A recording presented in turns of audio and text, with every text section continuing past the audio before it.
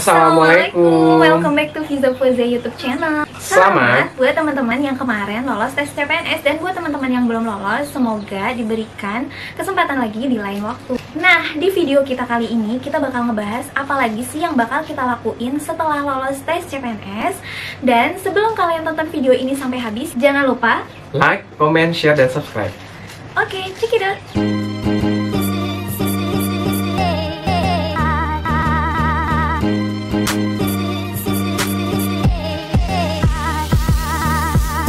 Setelah kemarin pengumuman integrasi nilai SKD dan SKB dan buat teman-teman formasi guru yang integrasi nilai SKD dan SKB-nya udah lolos, apakah auto jadi PNS atau ada prosedur-prosedur lain yang harus dilaluin?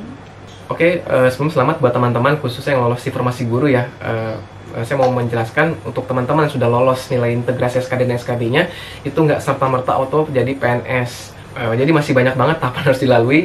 Tahap pertama, adalah pemberkasan eh, untuk mendapatkan SK CPNS 80%. Nah, apa aja yang dipersiapkan? Di antaranya adalah surat keterangan sehat yang jasmani, rohani, narkotika dari rumah sakit eh, pemerintah ya, rumah sakit umum pemerintah.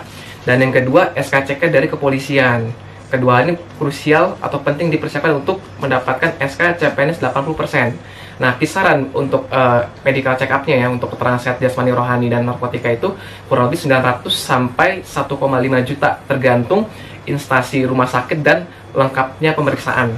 Oke, untuk MCU, medical check up gitu, biayanya kan tadi kisarannya 900 sampai 1,5 juta. Dan itu dana pribadi atau nanti di reimburse sama pemerintah. Oke, eh, untuk pemberkasan SKCPNS dalam hal ini MCU itu kita rogo kocek sendiri dengan kisaran 900 sampai satu setengah juta tergantung eh, kelengkapan tesnya ya biasanya dalam hal itu nar- narkotikanya Nah, jadi sekali lagi dalam tahap pemberkasan ini bukan berarti ketika kalian sudah melampirkan berkas-berkas tadi kan auto jadi PNS enggak Nah, itu untuk mendapatkan SK CPNS 80%. Eh, SK CPNS 80% itu apa sih sebenarnya? Itu untuk menyatakan kalau kalian itu adalah berstatus sebagai CPNS. Dalam hal ini, eh, kita belum sepenuhnya mendapatkan seluruh hak kita sebagai eh, pegawai negeri sipil atau PNS.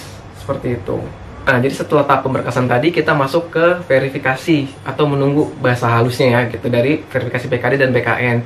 Nah, dalam masa-masa menunggu ini momen krusial karena bisa jadi lulusan kalian itu dibatalkan oleh BKN eh, dan BKD karena beberapa hal. Apa aja itu poin-poinnya? Eh, di antaranya linearitas formasi yang dibutuhkan dengan eh, pelamar yang lolos. Contohnya seperti ini, sekolah A misalnya membutuhkan guru eh, lulusan pendidikan seni rupa. Kalian lulusan seni rupa.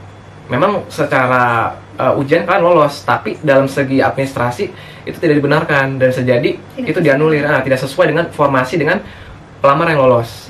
Yang kedua, eh, berkas yang dilampirkan bisa jadi tidak terbaca dengan jelas atau mungkin tidak terlampirkan. Ini juga fatal banget nih gitu. Misalkan udah capek-capek keluar uang untuk kursin MCU, capek-capek antri untuk SKCK, ya.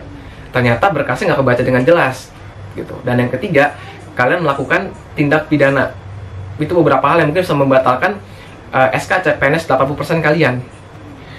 Tahap ketiga adalah Pembagian SK CPNS 80% dan juga SPMT, surat pernyataan melaksanakan tugas yang dikeluarkan oleh kepala instansi tempat eh, kalian nanti melamar, khususnya formasi guru. tahap keempat. Nah, setelah mendapatkan SK CPNS 80% dan SPMT, kita mulai bertugas di instansi tersebut. Nah, di sini kita bakal dinilai oleh atasan kita eh, dalam kurun waktu tertentu. Ada laporannya lagi.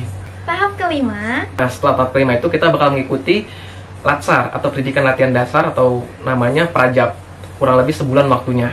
Tahap keenam. Tahap keenam itu adalah pembagian SK PNS 100%. Di sini kita diminta melampirkan lagi medical check up yang terbaru gitu dengan kisaran harga yang sama tadi bedanya uh, rumah sakit itu ditunjuk oleh pemerintah atau dalam ini BKD gitu. Oke guys, jadi enam tahapan itu yang bakalan kalian lewatin setelah lolos pengumuman tes CPNS integrasi nilai SKD SKB ya guys.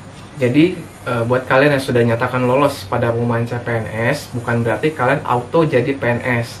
Masih ada tahapan-tahapan yang dilaksanakan seperti yang sudah saya jelaskan sebelumnya ya yang makan waktu kurang lebih sekitar satu tahun ya Uh, Sampai sampai kalian mendapatkan SK PNS 100% dan juga mendapatkan hak kalian sepenuhnya sebagai PNS. Oke guys, jadi itu adalah tahapan-tahapan yang harus kalian laluin dan sudah dijelaskan sama suami aku. Semoga informasi ini bermanfaat buat teman-teman yang pengen tanya, boleh langsung tanya di kolom komentar. So, thank you for watching. Semoga informasi yang kita bagikan ini bermanfaat. Kalau menurut kalian video ini bermanfaat, jangan lupa Di like, komen, subscribe, dan di-share ke seluruh sosial media yang kalian punya.